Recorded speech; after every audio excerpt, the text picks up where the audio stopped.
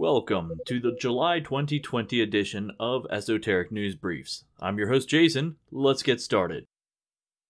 This time we have our first top 10 on Esoteric News Briefs 10 states with the most UFO sightings. Compiled for us by Kristen Cook on satelliteinternet.com. Now, Kristen has crunched the numbers using information gathered from the National UFO Reporting Center and compared it to state population. She then tabulated the number of UFO reports per every 100,000 citizens for the entirety of 2019 and the first six months of 2020. Going in reverse order, we begin with number 10, the Constitution State, Connecticut. With 176 total reported sightings, it looks like those wacky nutmeggers are seeing some strange things in the skies. Ranking in at number 9, a state better known for its hairy hominids, Washington. Almost doubling Connecticut's reported sightings, Washington state boasts slightly over 5 UFO reports for every 100,000 citizens. The next state draws in people from around the world, so it's no surprise that it's gained intergalactic attention. Number 8, Hawaii. With a small population and a small service area, your chances of seeing a UFO while vacationing is pretty high. Number 7 draws us closer to areas we think of as UFO hotspots, the American West. This one is slightly further north, though. We're looking at Wyoming. While it's considerably larger than our previous entry, Wyoming's minimal population makes it surprising that it is so high on the list. It boasts only 35 sightings, but that also means 6 out of every 100,000 people have seen a UFO in the past year and a half alone. Aliens may just have a sweet tooth, as demonstrated by our number 5 ranked state, Vermont. The maple syrup state has roughly the same number of sightings as Wyoming, but it is condensed into a much, much smaller area. That density of reports helps it creep into the number 6 spot. It should be no surprise that this next state is in the top 10, but many people are likely to expect it to rank higher. Coming in at number 5, the Land of Enchantment, New Mexico. Most famous for the Roswell incident in 1947, New Mexico has not shown any signs of slowing down in its UFO encounters. In just an 18 month period, it has reported 130 sightings. When somebody thinks of ET hotspots, chances are nobody would think of the state largely bordered by Canada Maine. Why are aliens lurking in the skies of the Pine Tree State? Honestly, who knows? Maybe the low population means that they're less likely to be seen when abducting humans. Either way, the number of sightings per capita has ranked them in at number 4 on our list. Then again, Maybe Maine is just en route to our next location, New Hampshire. Bordering our number 4 entry, New Hampshire has roughly the same number of sightings. Maybe there is a bit more going on in the Northeast than most of us know about. Holding the number 2 slot is another Canadian border state, Montana. Big Sky Country shares roughly the same latitude as Maine and New Hampshire, it could be the lack of light pollution that makes it easier to see the night sky, or maybe they all just fall along some extraterrestrial scenic route around our planet. And finally, our number one slot is physically located between number 2, number 7, and number 9, boasting roughly 9 sightings for every 100,000 people. Idaho is the state in the Union where you are most likely to see unidentified flying objects. In case you're wondering about the other states that border Idaho that didn't rank in the top 10, you have Oregon at number 11, Utah at number 16, and Nevada at 18. In the book, The 37th Parallel, Ben Mezrich recounts the large number of UFO sightings following this latitude. Since its publication, it seems like this UFO highway has shifted just a bit farther to the north. So if you want to encounter some strange aerial phenomena, it seems your best bet, in the US at least, is to head to the northwest.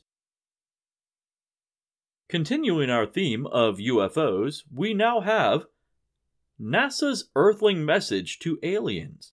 Please, don't contaminate our planet. Brought to us by Hannah Sparks of the New York Post. The first line of this article sums it up best Aliens, take note. Only humans can trash this planet. It seems early in July of 2020, NASA's Office of Planetary Protection, which, by the way, did you even know that division existed? Partnered with a new research organization, or at least new to them SETI, the Search for Extraterrestrial Intelligence. Founded in 1984, the Search for Extraterrestrial Intelligence has been searching the skies for signs of life. With increased exploration of Mars and our own moon, both organizations believe it is time to more seriously look at the potential for alien contamination, and taking the necessary steps to prevent us from contaminating them. In response, SETI Institute released the following statement We are proud to be NASA's partner for this mission critical function, protecting Earth from backwards contamination, and helping ensure that life we may find on other worlds didn't come from our own. Speaking of SETI, comes our next article from National Geographic by author Nadia Drake. My dad launched the quest to find alien intelligence, and it changed astronomy. So, this article tugs at my heartstrings since it comes from my home state of West Virginia, and it involves a location that I have personally visited before the National Radio Astronomical Observatory in Greenbank. In 1960, 29 year old Frank Drake began using the Greenbank Observatory to search the skies for signs of alien broadcasts. How was his search received? Well, it was considered bad science in those days, says Drake, now 90 years old. According to him, at the time, it was still considered in the realm of science fiction. His hypothesis relied on the idea that Earth unintentionally sends out our own signals, in the form of various radio and television broadcasts, so it is possible that alien life forms would do the same. This kickstarted SETI, which, as we heard in our previous article, is now working alongside NASA.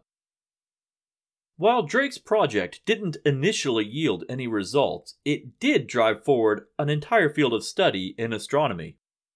In 1961, the National Academy of Sciences asked Drake to host a meeting at the Green Bank Observatory. During his preparations, he formulated the now famous Drake equation, which is used to estimate the number of civilizations that may exist in the Milky Way. While private research groups generally scoffed at the idea of funding the search for aliens, enthusiastic support for the concept came from an unlikely source Russia. As a communist state, all scientific pursuits were considered to have equal merit, so acquiring funding was much easier for the former USSR. In the midst of the Cold War and the space race, the search for extraterrestrial intelligence seemed to be the uniting factor between our two countries. Eventually, SETI became funded by NASA, then defunded, and refunded, over and over and over again. Eventually, the program was seen as a waste of taxpayer dollars and cut entirely. SETI remains active as various nonprofit groups, the most active being the SETI Institute in the University of Berkeley, California. While SETI is still looking for interstellar radio signals, astronomers have largely turned their attention towards technosignatures, or signs of alien technology. Their main focus is on the infrared spectrum, and they are looking for all astronomical phenomena, including supernova and black holes. In 60 years' time, we went from having one or two people doing something about detecting extraterrestrial life to hundreds including some of the brightest minds on the planet. And that fact has Drake very, very happy. Unfortunately, this next article brings us some tragic news. Written by Ed Whelan of AncientOrigins.net. Famous sacred historic oak destroyed by fire in the UK. Venerated by modern pagans and druids alike, the white leaved oak in Herefordshire, England, was destroyed by fire in early July. Over 500 years old, the oak sat at the corner boundary of Herefordshire, Gloucestershire, and Worcestershire, and was named in 1584 for its tendency to produce leaves with white pigmentation. Frequently adorned with decorations during the solstice, the white leaved oak was a location of spiritual importance for people around the world. Known as the King of the Forest, this tree was famous for being struck by lightning multiple times throughout its life, only to flourish as a result. At this time, it is not known what started the blaze. Our final article is quite a doozy. It's brought to us by the City Press in South Africa. It is entitled Transnet Bodyguard Fired for Witchcraft Reinstated. Written by Setumo Stone. It all begins with the bodyguard of former CEO Siyabonga Gama. The bodyguard was fired in December of 2017 after accusations of witchcraft. Vusi Makele, the bodyguard, had been approached by four individuals who began to ask about his employer, Gama, his health, and well being. Eventually, one of those four asked him to sprinkle some muti across the gate to Gama's residence. Now, if you're like me, my first question is what in the world is muti? Muti is an African magic powder containing herbs and minerals. But, in its use for witchcraft, it can sometimes contain human remains. Now, Michele played along with the request. He acquired the muti and later tossed it from his car window on the interstate.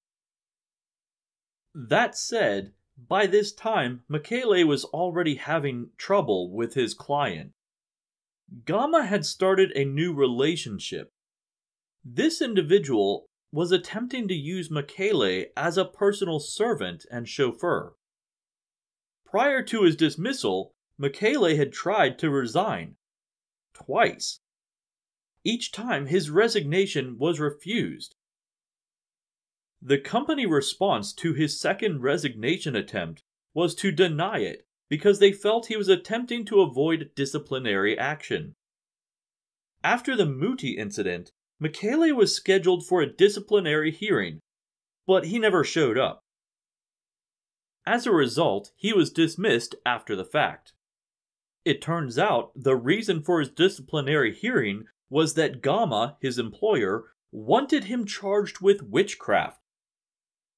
An unnamed source close to Gama says that Michele was caught on security camera sprinkling the muti across the doorframe. It's not known whether the actual footage to this was ever recovered, so ultimately it's all hearsay. According to company documentation, Michele's charges were for 1. Failure to raise alarm at a life threatening situation, 2. Active participation in conduct placing an employer and his family in danger, and 3. Actively participating in witchcraft. At this time, all charges have been dropped, and Michele has been reinstated with full back pay from the time of his dismissal in 2017. Siyabonga Gama has since been removed from his position, and all managers involved with Michele's dismissal are now under investigation. Michele is now accusing Gama of abuse of power, money laundering, bribing police, irregular appointments, and illegal tapping of employee cell phones. When it's all said and done, I don't know if the muti was ever sprinkled on the property. But I've gotta say, it's probably not wise to upset the one who's in charge of your safety and security. That brings us to the conclusion of this month's Esoteric News Briefs. As always, until next time, remember, stay weird.